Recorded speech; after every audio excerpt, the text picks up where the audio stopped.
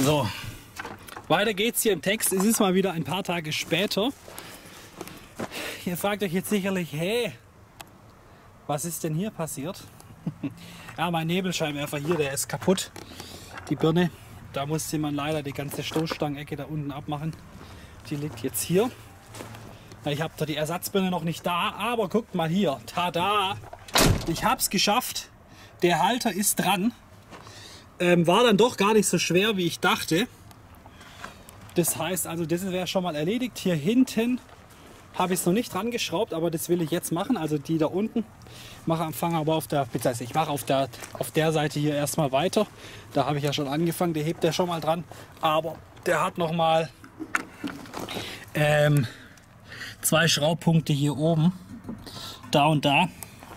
Dafür muss aber der Kotflügel weg, also die, die Rathausschale hier.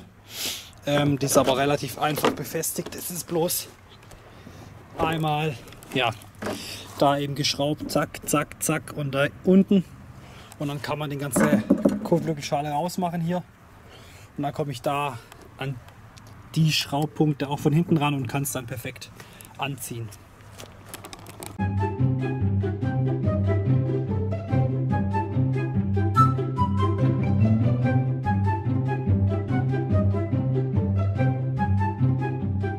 Haben wir schon die Rathausschale rausgemacht. Jetzt kommt dieser Halter wieder dran. Und zwar Nein. so rum. So, nee. So rum. Jetzt habe ich es hingekriegt. Genau, dass die Dinger außen sind hier. Und jetzt schraube ich ihn da oben noch durch die zwei Löcher auch noch fest. Ich hoffe mal, ich habe die richtigen Verschraubpunkte gewählt, aber das dürfte eigentlich von der Positionierung jetzt grob passen. Und jetzt die Schrauben drin. Jetzt kann ich praktisch die Radarschale wieder dran machen, weil da oben an die Verschraubung komme ich nicht dran, wenn die drin sind. Und dann haben wir die Seite schon mal soweit fertig. Also diese Variation bei den LKWs, das ist schon Wahnsinn. Also hier ist die Kotflügelbefestigung jetzt schon wieder anders. Dadurch, dass ich ja den AdBlue-Tank im Rahmen habe, also hier zwischen, ist jetzt die Halterung hier. Ja, da kommt praktisch hier so Gewinde raus. Und darin ist alles wieder komplett anders, sollte aber für die Seitenverkleidungshalterung jetzt keine Rolle spielen. Ah! Weiter geht's im Text. Ich habe mal wieder geshoppt. Ich weiß gar nicht, wo das letzte Video aufgehört hat. Ich glaube hier. Ja, also die äh, Glühbirne habe ich noch nicht bekommen für den Nebelscheinwerfer, deswegen dementsprechend sieht das hier noch aus, die Kacke. Aber ich habe andere Teile bekommen und zwar einmal dieses hier. Ja, das kommt praktisch äh, hier so dran. Moment. So. Genau. Und äh, an die Teile kommt dann nachher dieser, diese Halterung dran. Also das dürfte eigentlich so rum dann funktionieren. Da müsst ihr auch die passenden Schrauben da haben. Dann kann man das mal festschrauben. Äh, dann habe ich noch bekommen dieses Teil. Ja, da wurde ich natürlich mal wieder, mal wieder zum Kotzen ist es. Ähm, Entschuldigung, wenn ich mich so aufreg, aber es nervt einfach. Ähm, dieses Teil hier, das kommt nämlich so rum. Hier ran. Da dazwischen. Jetzt muss ich mal gucken, dass mein Tank nicht komplett zerstöre. Ah, das kommt auf jeden Fall da rein. Ungefähr äh, so müsste das da hinkommen. Ja, und es war in dem Shop, wo ich es gekauft habe war das ab, weil also das kommt hier hin und dann kommt hier vorne noch so eine Platte dran und so ein Gummipuffer. So, und dann liegt die Seitenverkleidung da dran auf. Ja, und in dem Shop war dieses Teil natürlich dran und geschickt haben sie es mir dann ohne. Also das ist wieder hier, da könnte ich, ah, ja, gut. Und das weitaus teuerste Teil, ich meine, das hat 15 Euro gekostet. Da muss ich jetzt vielleicht noch mal zu Scania gehen und hoffen, dass sie dieses Ding hier, was da dran kommt, einzeln haben. Ansonsten, äh, ja, kann sein, ich muss das noch mal bestellen was natürlich scheiße wäre, aber was willst du, ich sag mal so, ist nicht schön, aber was willst du machen? Ja, und das teuerste, was ich bestellt habe, ist das hier. Was ist hier drin? Das ist nämlich ein neuer Boden. Zeige ich euch nachher. Jetzt schrauben wir erstmal die Dinger hier dran und hoffen, dass es hier mal endlich funktioniert. Der ganze Kack, weil mir geht es langsam echt auf den Keks. Sorry. Äh, ich meine, ich habe es mir selber eingebrockt, aber es nervt mich trotzdem.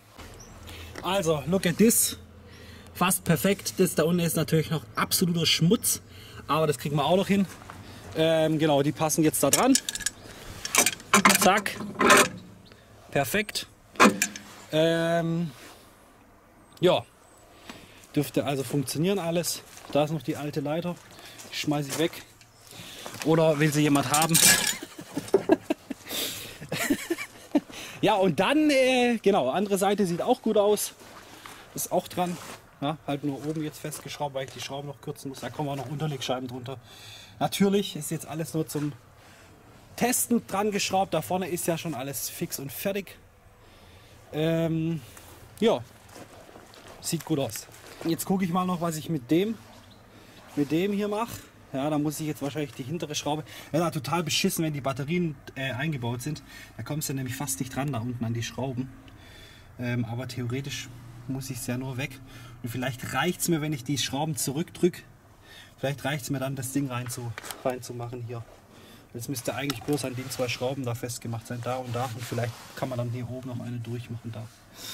Hier komme ich noch nicht weiter, denn äh, wenn man sich mal die Treppe anguckt, die Treppe hat, also das Ding war ja praktisch, ich hebe es einfach mal dran, dann versteht man es besser.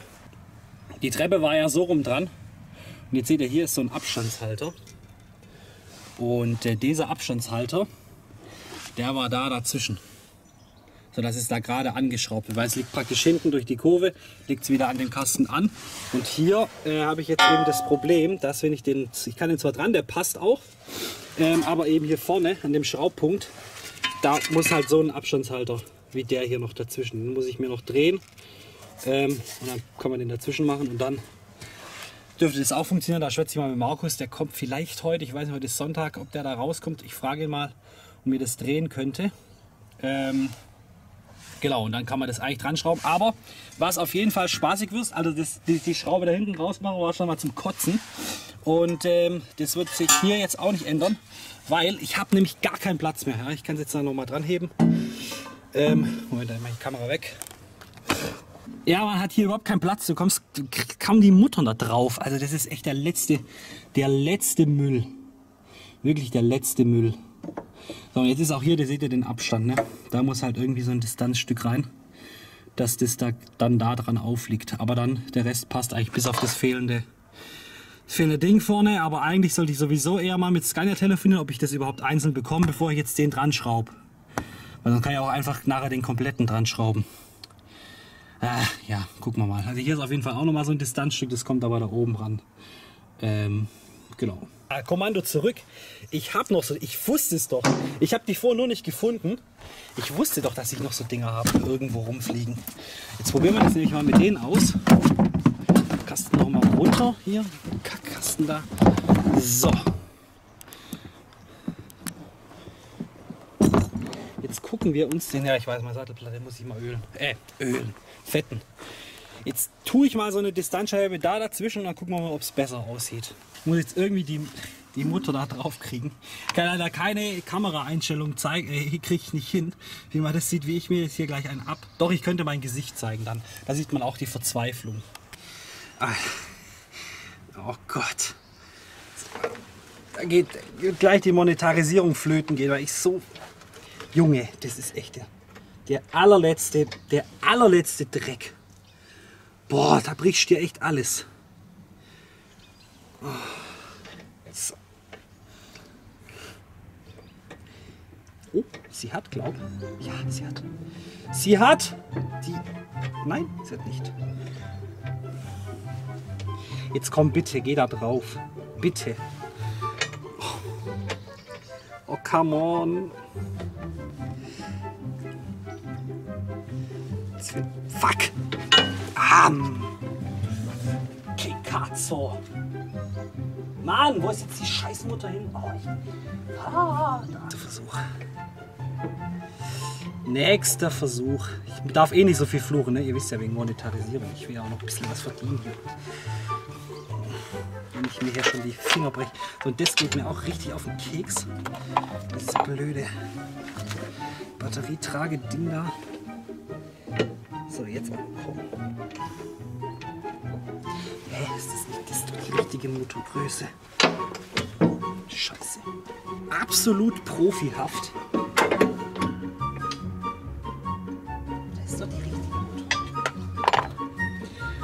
Try it again. Let's try it again. try it again. Wie soll man das da jemals dran kriegen? Absoluter Scheiß. Ich sehe schon die Kommentare. Freddy, reg dich nicht so auf. Reg dich doch nicht so auf. Kann mir das nicht mehr angucken. Du bist nur am Fluchen. Boah, bitte echt.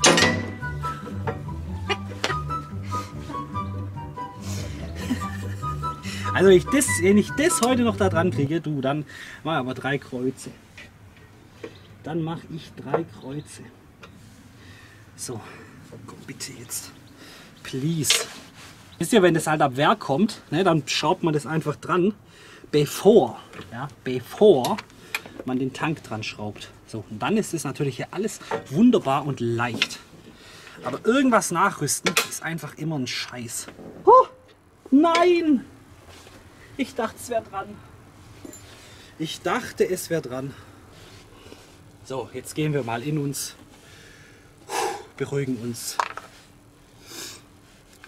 Mutter unser, geheiligt werde dein Name, deine Festhaltung komme, dein mein, mein Wille geschehe. Oh Gott, ich, was ich hier wieder rausschwitze. Ich hatte Kommentare, ich würde nur Scheiße labern und das ist absolut wahr. Absolut wahr. Ich hab's geschafft, es ist ja nicht zu glauben. Ja! Ja, Mann, so ein Mist, echt, aber jetzt hat's oh, echt. Alter Schwede. An dieser Stelle nochmal sorry für meine Flucherei. Ich habe es jetzt dran. Das Einzige, ja, ich werde es wohl nochmal wegschrauben müssen. Ähm, weil der Abstand hier ist doch arg wenig. Ich glaube, die Distanzhülsen, die ich da improvisiert habe, sind ein bisschen zu lang. Das heißt, da werde ich dann auf jeden Fall was mit Markus drehen. Aber ich wollte jetzt mal was einfach zusammenschrauben. Ähm, ich werde das dann wahrscheinlich so machen, dass ich die einfach hier messe. Ne? Da, von da nach da messen, die Länge von der Hülse hier und dann äh, drehen wir die einfach selber. Und dann dürfte das auch passen. Weil jetzt so, also so wird es mit Sicherheit auch gehen. Es fehlt halt noch ähm, die Platte, die hier dran geschraubt wird. Und da muss ich halt echt hoffen, dass ich die bei Scania bekomme. Jetzt geht es hier an der Baustelle weiter. Ja, da liegt auch noch das, äh, die Warnleuchte oben, die Abdeckung. Ja, jetzt muss ich erstmal hier ausräumen und dann fliegt das alles raus. Dann mache ich hier mal sauber und dann kommt da der Boden rein. Ja, ich habe jetzt auch noch den Lederboden verlegt. Wie ihr seht, es ist zwar nicht perfekt geworden, weil ich ja noch den Kühlschrankumbau habe. Da hat es alles nicht ganz so gepasst, aber ich habe es doch irgendwie reingekriegt. Hier ist es nicht ganz so schön geworden. Ich kriege aber diese Falte hier irgendwie nicht raus. Ich weiß nicht so ganz, woran es liegt. Ähm, ansonsten ist der Boden drin. Ist natürlich jetzt mit schwarzem Boden. Da sieht man halt jeden Dreck. Also da kann ich so gefühlt jeden Tag putzen, aber trotzdem finde ich so angenehmer als davor. Und ja, dann wäre wieder eine Baustelle erledigt. Jetzt muss ich noch hier, das muss ich noch folieren. Das ist oben die Rundumleuchte. Da war ja das Giovanni drin. Das mache ich jetzt einfach komplett schwarz, das ganze Ding wieder. Und äh, ist noch die äh, Lampen drin, die Seitenverkleidung. Genau.